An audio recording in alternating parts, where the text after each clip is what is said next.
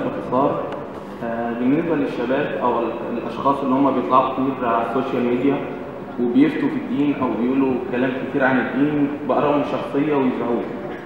أنا مش قصدي كشخص أو مثلا زي إسلام البحيري ماليش دعوة بإسلام البحيري بس أشخاص مش ليه الأزهر أو الفتوى ما بتطلعش بسرعة وترد عليه أو يعني يعني تظهر الإجابة أو ما تخليش مثلا آراءه الشخصية أيا كانت صحيحة أو فاسدة إن هي تنتشر لأن ده بيبقى بيضر أو ليه ضرر سلبي على الشباب أو الأشخاص الآخرين.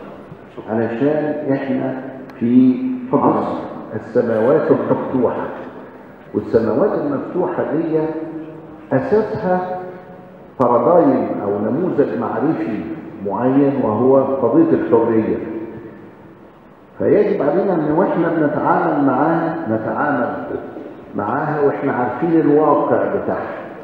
ولذلك تلاقي دار الإفتاء عندها مرصد وعندها موقع وعندها تفاعل وعندها كول سنتر بال- بالإجابات المختلفة. الأزهر كذلك الأوقاف كذلك.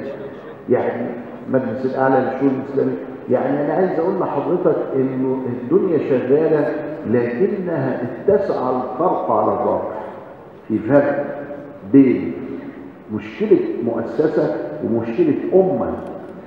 العصر اللي إحنا عايشين فيه ده ده مشكلة أمة. يجب عليها أن تفيق يجب علينا أن نعمل 24 ساعة لغاية ما نسقط من طولنا وما يكفيش. عايزين نشتغل فكل الدعوات بتاعتكم دي دعوات أنا مبسوط منها جدا لأنها دعوة إلى مزيد من العمل. حتى لو كنا قد استهلكنا أوقات العمل لكن ينبغي علينا أن نمنح أكثر وأكثر وأكثر حتى نصل إلى مقصودنا إن شاء الله.